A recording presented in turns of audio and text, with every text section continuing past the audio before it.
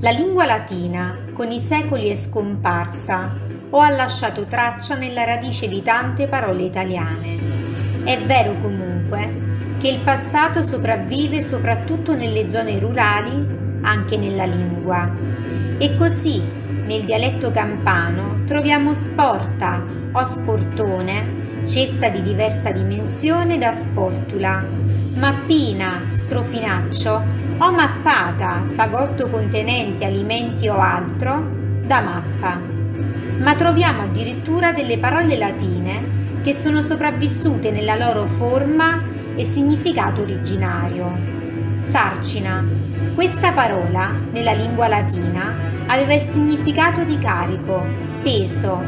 Essa indicava il bagaglio che si portava dietro il legionario romano ed era portata in spalla tramite una borsa da viaggio, l'oculus, a sua volta appesa a due legni a forma di croce o T, furca. All'interno della sarcina c'era tutto ciò che era necessario quotidianamente al legionario, razioni di cibo, borracce, acciarini, coltelli e armi, oltre che coperte ed effetti personali. Il tutto aveva un peso, armi escluse, di circa 18 kg.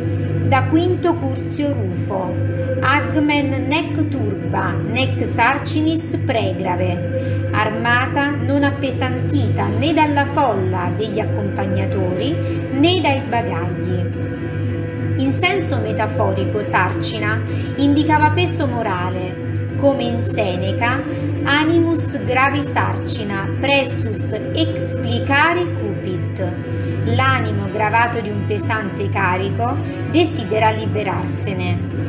Nel dialetto campano sarcina indica una pesante fascina che le donne, soprattutto nel passato, trasportavano dalla montagna.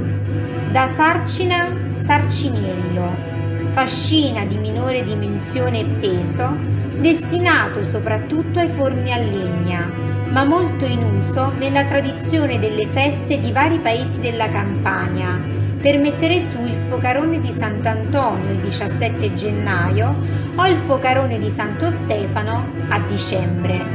Avrebbero lo scopo magico di riscaldare la terra e favorire così il ritorno della primavera. E così, dal latino al dialetto campano, da sarcina a sarcina non è cambiato molto.